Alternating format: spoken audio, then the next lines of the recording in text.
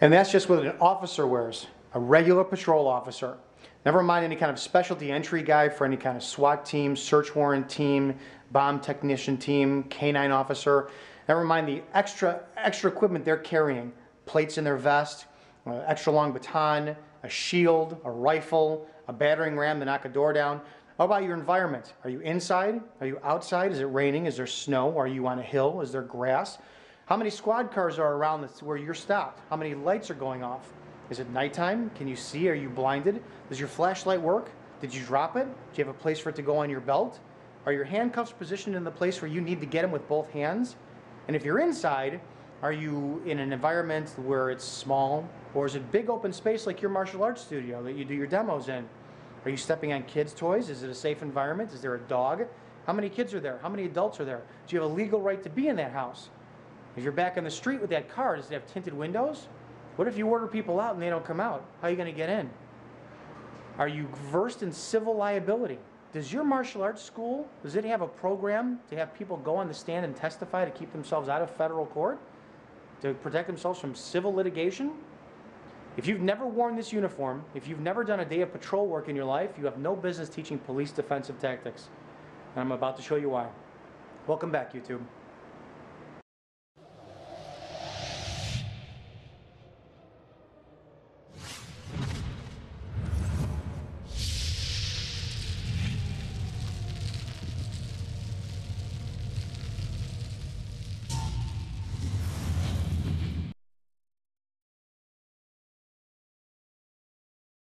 YouTube, welcome back. All right, it's our first video of the year. Thanks for the time off, appreciate it. All right, we're gonna go into law enforcement defensive tactics this year. All right, we're gonna be doing it heavy-handed because last time I checked, I'm a cop and I have a big problem with all these guys online who are teaching cops. Um, once again, these are my opinions. Uh, I don't expect anybody to agree with me. I'm not here to make points. I'm here to tell you the reality of control tactics or defensive tactics with law enforcement. With me, I got Paul Ingram. Uh, Paul, uh, RFA Martial Arts. You got an explosive uh, YouTube channel. Kali Center. Kali Center. Check out Kali Center on YouTube. Go to it. Paul's got more fitness videos. Kali uh, videos are absolutely fantastic. Uh, Matt's going to help me out, and Chris is going to help out today too. Um, we're going to go over the idea of handcuffing today. All right, and the, the myths versus the realities of handcuffs versus the one percenter which could happen, or you know the, the general compliant people. And you're just going to see a couple scenarios that are going to be addressed to failure. They're going to fail. It is what it is. Uh, it's just going to happen that way. Um, and we're going to go, I mean, Paul's specialty, obviously knives, swords, so he's going to break out what everyone carries, which is a knife. I mean, I, I don't know about you, but I see everybody carrying a fucking knife. Uh, a lot of people, yeah. Does. Yep. Um, this started when I saw some guy's video on YouTube talking about the armchair quarterbacking, about what happened with Eric Garner. Um, Number one, if you are non-law enforcement and you are critiquing the actions of another officer who ultimately led to the tragedy of someone's death, I, I, think it would be behoove you to shut your mouth and take a back seat. You don't do this job. You have no idea what that officer is going to suffer with for the rest of his life and how he's going to replay it over in his head a million and one times.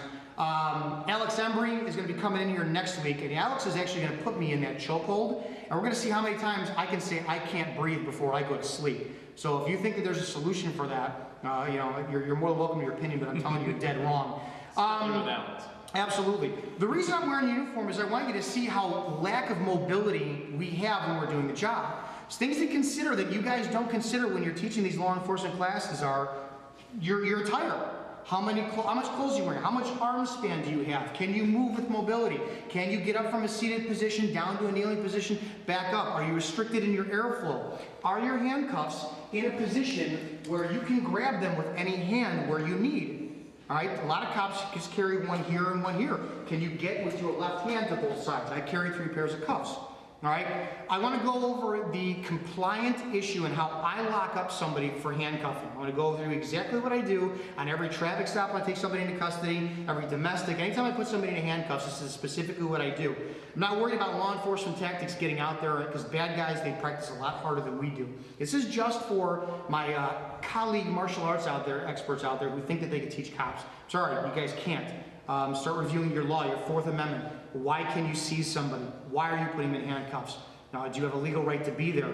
And then lastly, does your program, does it come with a, uh, a, a litigation package to where if I go down to the Dirksen Federal Building in Illinois, that I'm gonna be able to say, oh, so I took so-and-so's martial art class for law enforcement, and that's why you shouldn't sue me civilly, and I shouldn't go to jail? Something to think about, guys. All right, we'll be back in a second.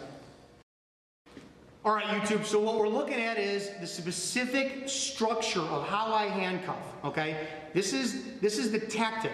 The tactic and the technique are not going to save you in your, in your, your success, if you will. It's all gonna be based on the level of compliance, your level of fitness, your level of willingness, how to finish the fight, and so many other variables. Who's got a camera?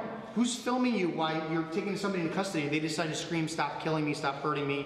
Uh, are, do you know why you're putting them in handcuffs? Do you know why you stopped them in the first place? There's a tons of reasons. But we're going on the idea of an extremely compliant subject.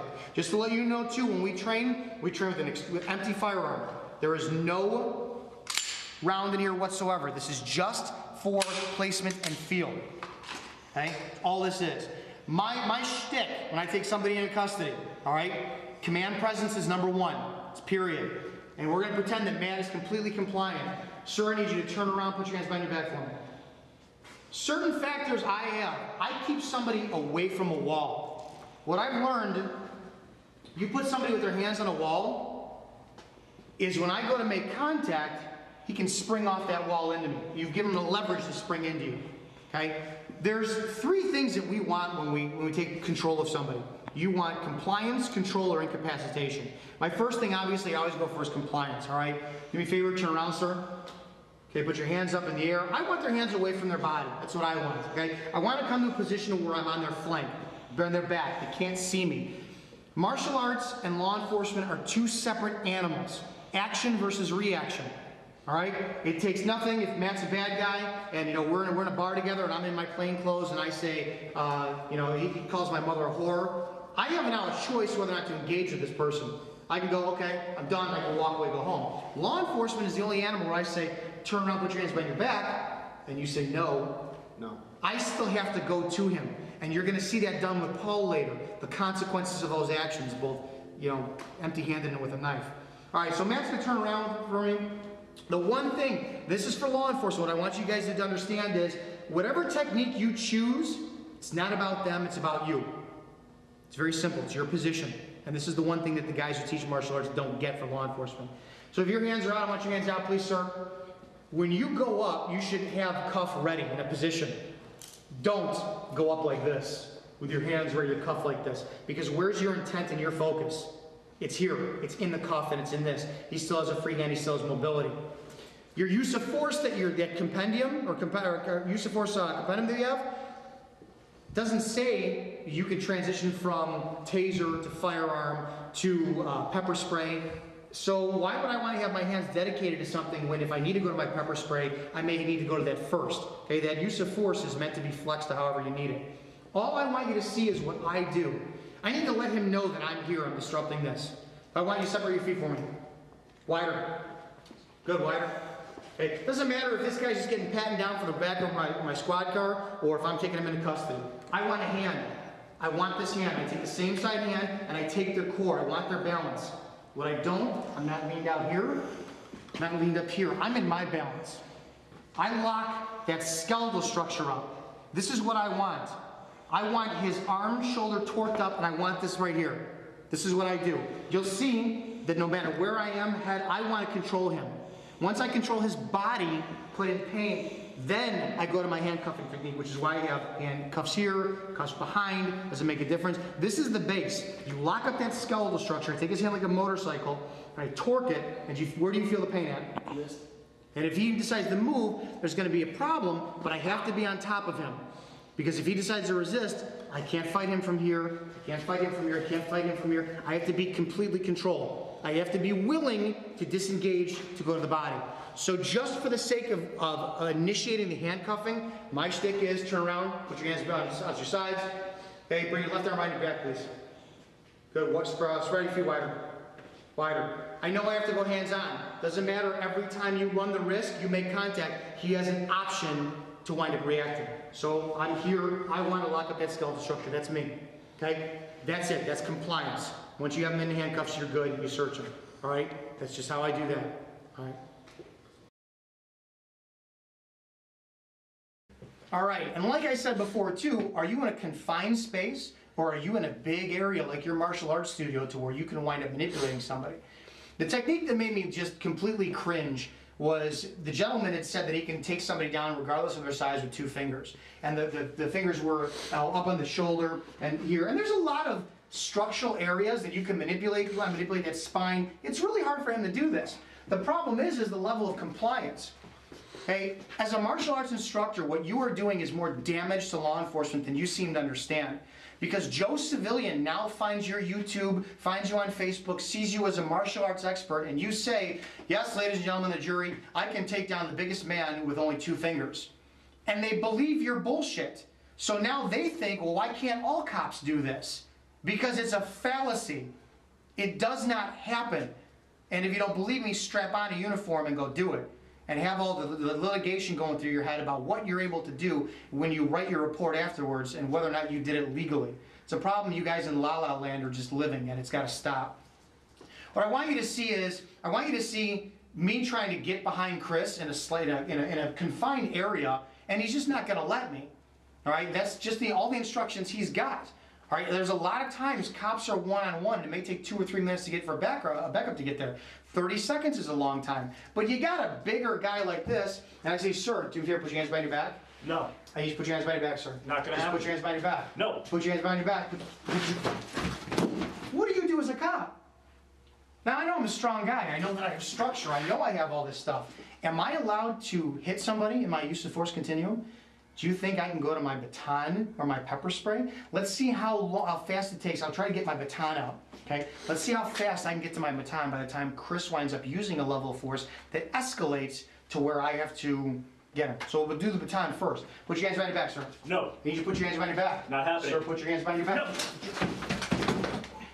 no. Well, there's a problem. Let's see how fast I can go for my handcuffs. And let's see the position of my hands when somebody doesn't want to comply. Put your hands behind your back, Chris. No, Turn around. No. Not gonna tell you again. no, I'm gonna tase you, Chris. no. I'm gonna tase you. No, you're not. Okay, so I'm gonna tase you. I'm No, you're not.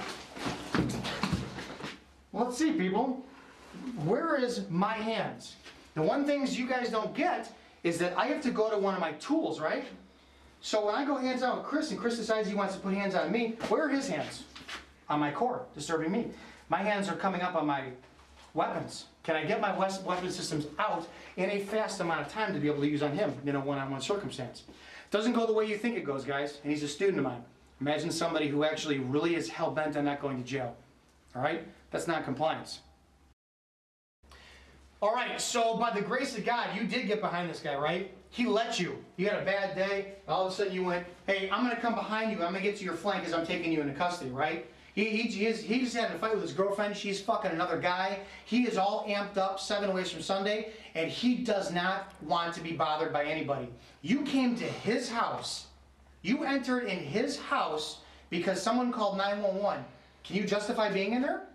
What if he says, no, nobody called 911 here, doesn't want to let you in? Do you have the legal right to be in there? These are all questions I don't know if you guys understand. So now you barge your way into his house, whether or not you violated his Fourth Amendment, I don't know. He's all pissed off because he's got a barking dog, screaming kids, and a cheating girlfriend, but you're going to get behind him, right? Just like Mr. Garner, who sat there and said, it ends today. Because we all know what his frame of mind was, right? He was a gentle giant. Right? I'm going to get behind Chris, who's a gentle giant. He let me get back here. It's great. With my two fingers here and here, I'm going to take Chris down to the ground. Let's see how this goes. You are allowed to react when I when I wind up uh, making contact. All right? Let's see how this goes. Because you don't, don't forget, I also have a very strong wrestling background, so I know how to take people down. I know it's coming before it's coming. How am I going to stop a guy who wants to get pissed off and fucking put me into the wall? Get damage in the wall. All right, let's try that again. All right, Chris, do me favor, put your hands behind your back. No, This time, actually comply, put your hands behind your back. Let's see how it goes like that. So he's at a disadvantage. Let's see how Chris acts. can I sit there and go to my tools in time? Or am I trying to keep a guy off me? It's really easy, isn't it, guys? With your law enforcement defensive tactics. All right, now we got the one percenter. You're driving down the road, somebody matches the description of a crime that happened, so legally you have the reason to do a Terry stop. You saw a gentleman with a long ponytail, black, uh, black sweatshirt, hood sweatshirt, jeans. It matches the description of somebody who just committed some vehicle burglaries. I have the legal right to stop him, okay? That's, that's, so we're taking that compliance factor out. Okay, I did my investigation, I determined that this is the gentleman who I have to place into custody. Again, he's the one percenter. I don't know him. You could do a one, once up and down. Visually, do I have anything, you know, from Paul that's gonna give me any indication that, you know, he's armed? I don't know. In, in my opinion, everybody's armed. Everybody is armed all the time. So what happens when my instructions fail? Okay, you have your hands in your pockets, you can start in there because that's what people are gonna be. Sir, do me a favor, put your hands in your pockets. He doesn't want to acknowledge me. He doesn't want to say anything. He's already at a mindset where there's going to be a problem. I should be at a mindset of something's really going to go fucking wrong here. So what do I do personally? Send me another unit. That's what I do. And hopefully two or three cars are going to arrive.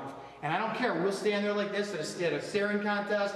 He's going to go. Hey, you know, I'm going to do my, I'm going to do my fucking best to make sure that he doesn't get pissed off, right? Because there's a level of civility you still have to have. All right?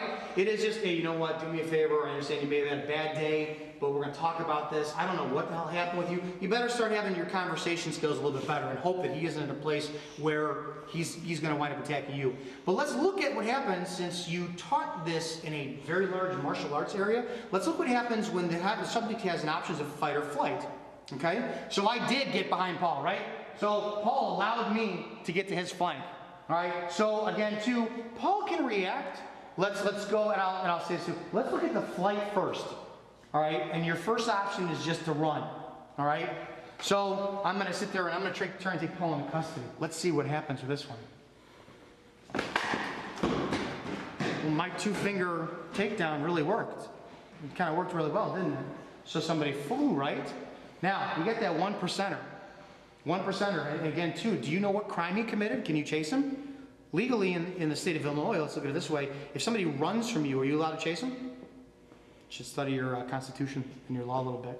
So, I want you to see how fast that 21 foot rule starts from zero feet to however fast he chooses to go to, current, to coming back. All right, so you get to get the bird's eye view as best we can here. So, again, I got Paul. Let's uh, face that way so the bigger. Uh, bigger thing there. I told you all these are set up to failure because the one thing you don't realize as martial artist is once contact is made, he fucking knows exactly where you are. All bets are off. You are so focused on your technique, he's thinking of everything he could do to either fight or flight. And he's probably going to win if you don't know what you're doing. So let's look at what happens here when I go and I go to try to take Paul into custody with those two fingers.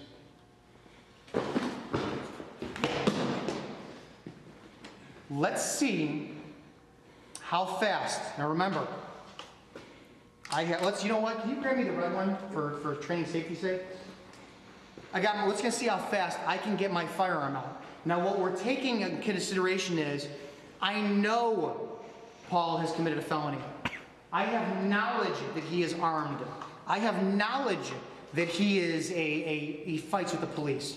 You're not, you're not coming into consideration that you know this guy from Adam, you don't know what crime he committed. You're trying to play in your head again, do I even have the legal right to stop him, okay? So we're making this really easy for you. I've also have my, my uh, weapon retention system defeated, and I'm gonna leave this really loose here, all right? I already know how this is gonna fucking play out. And I have to wonder, in today's society, with everybody who's out to sue cops and get them fired, would you necessarily go to your gun? But the only option in this when somebody's bringing lethal force to you is you use lethal force in return. So I'm ready to go. Let's see my reaction on this, all right? Okay, starting at distance, sir, face that wall, please.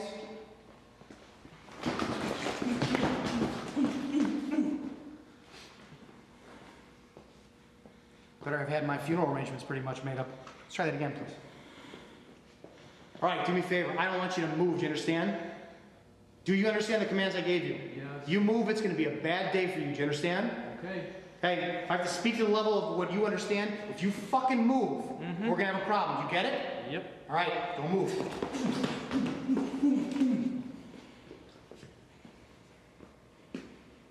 I can go whenever I want, right? Because I'm the pretty bad guy. much, pretty much.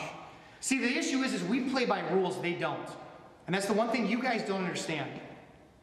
All right, let's look at one more scenario. I just got called to a domestic disturbance to where Paul doesn't want to leave his girlfriend's house. All right? She called, they got an argument, she used the police. He's already amped up because he's trying to have a discussion with her over her infidelity, cheating, and he just wants to talk.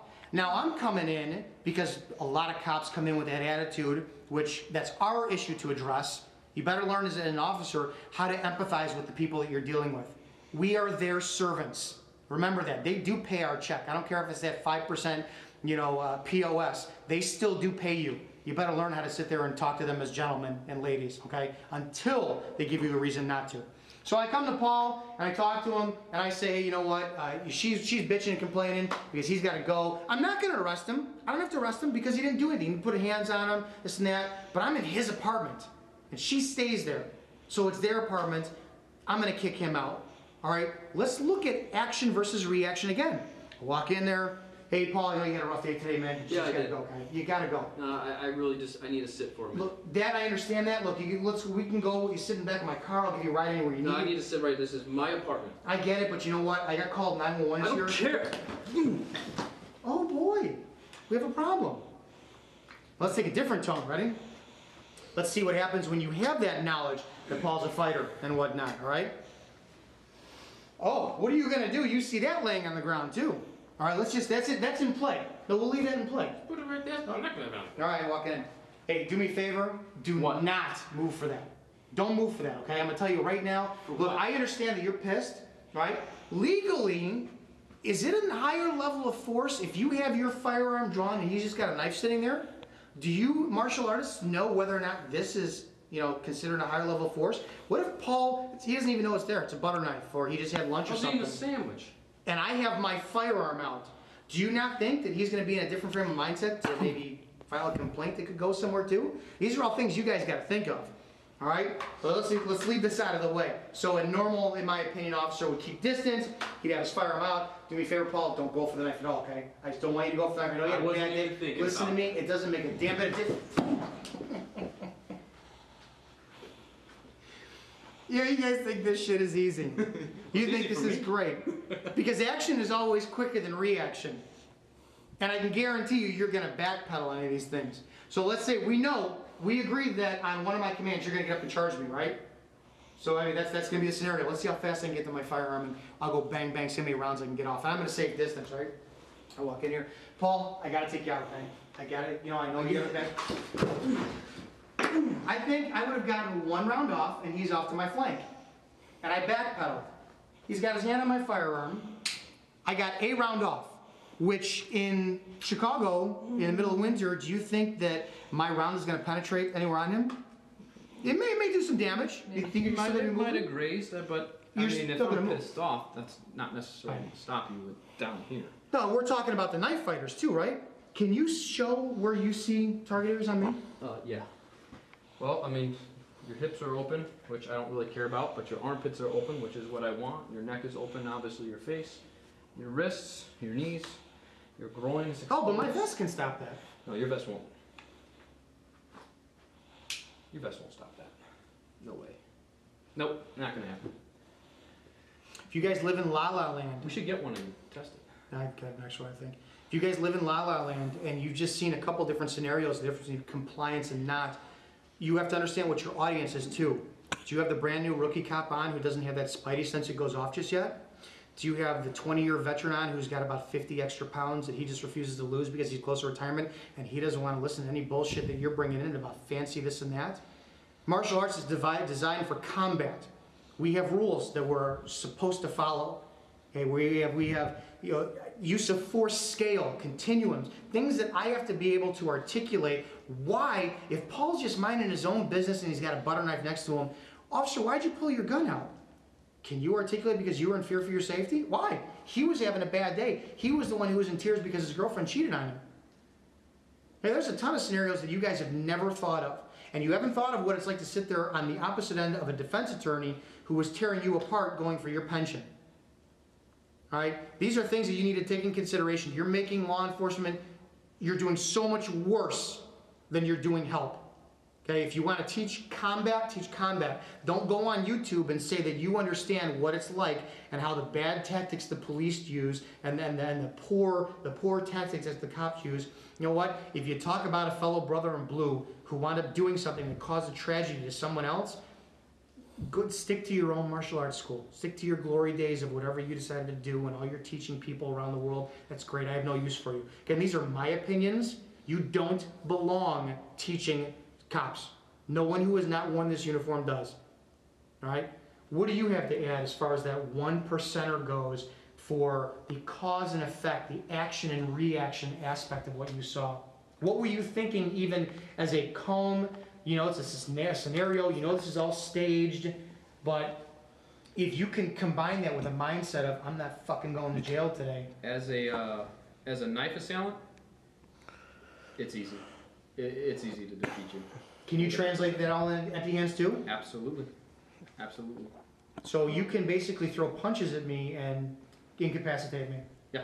Well, I mean, at least enough for me to uh, have the time to get to the knife, which is going to take maybe on a bad draw a second, maybe a second and a half. Why do I want to go putting up my dukes and going and fighting somebody like that? Remember, my job is to take control over him. So it's compliance. He's obviously not compliant. It's control. Can I control him? Or then it's incapacitation. How do you incapacitate, incapacitate a threat like that? That's the problem that you guys don't think about when you put together your curriculums for law enforcement. You just don't get it. We got a lot more coming to the channel. Paul, thanks. Thank you. This was Matt, fun. Chris, thanks. We'll see you on the next video.